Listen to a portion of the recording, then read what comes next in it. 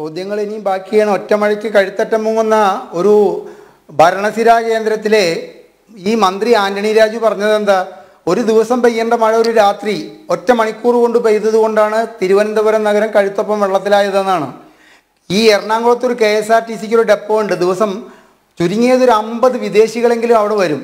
ഉപ്പുറ്റിയിലാണ് അവിടെ നടക്കുന്നത് ഉപ്പുറ്റിയിൽ അത് മഴ പെയ്തില്ലെങ്കിലും മഴ പെയ്താലും. നമുക്ക് K S R T C bus stand ആയി എന്നറിയാൻ വേണ്ടിയിട്ട് സലീം രാജൻ റോഡിലെത്തിയാൽ അറിയാം. കാരണം അവിടുത്തെ ബാത്റൂമിൽ നിന്നുള്ള മണം കൊണ്ട് നമുക്കറിയാം.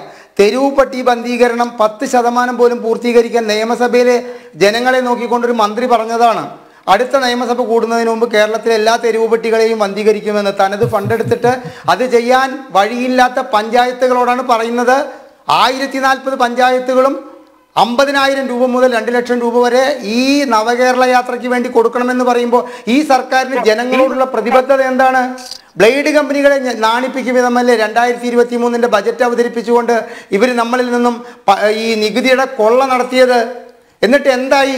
ആ ജനങ്ങളിലേക്കാണ് വീണ്ടും ഇത്തരത്തിലെ ഈ മാർക്സിസ്റ്റ് പാർട്ടിയുടെ എന്തൊക്കെ പറഞ്ഞു കഴിഞ്ഞാലും അവരുടെ ഈ കേഡർ പ്രസ്ഥാനത്തിന് ഒരു നൂറ്റി നാൽപ്പത് നിയോജക മണ്ഡലത്തിലെ ഒരു ലക്ഷം രൂപ വെച്ചിട്ട് ബക്കറ്റ് പിരിവ് നടത്തി കഴിഞ്ഞാൽ നൂറ്റി നാൽപ്പത് ഒന്ന് പോയിന്റ് നാല് പൂജ്യം കോടി രൂപയുടെ ഒരു വണ്ടി മേടിച്ചിട്ട് അന്തസ്സോട് കൂടി ഇതിനെ ഇറങ്ങുകയാണ്.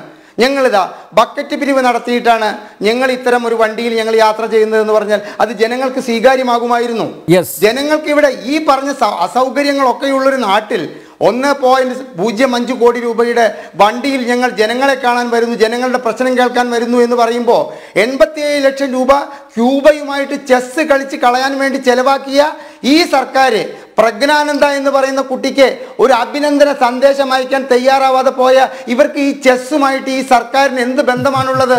അപ്പൊ അത് ക്യൂബയാണ്.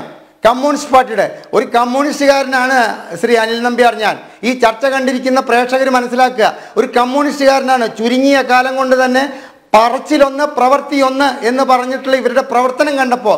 പതുക്കെ മാറി നിൽക്കുകയാണ്. നേരെ പോയിട്ട് ബി ജെ പിയിലും ചേർന്നില്ല നേരെ പോയിട്ട് കോൺഗ്രസിലും ചേർന്നില്ല.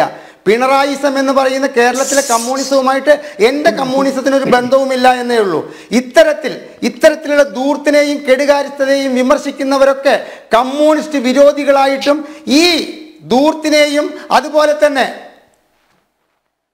ഈ ദൂർത്തിനെ പിന്താങ്ങുന്ന നമ്മൾ പറയില്ലേ? ഈ ഉപജാപക വൃന്ദത്തെ കമ്മ്യൂണിസ്റ്റിന്റെ ആരാധകരായിട്ടും കാണുന്ന ഈ കേരളത്തിലെ കമ്മ്യൂണിസ്റ്റ് പാർട്ടി ഒരു വിവേചനത്തിന്റെ ഒരു തിരിച്ചറിവിന്റെ പാതയിലേക്ക് പോകേണ്ട സമയമായി എന്നാണ് എനിക്ക് പറയാനുള്ളത്.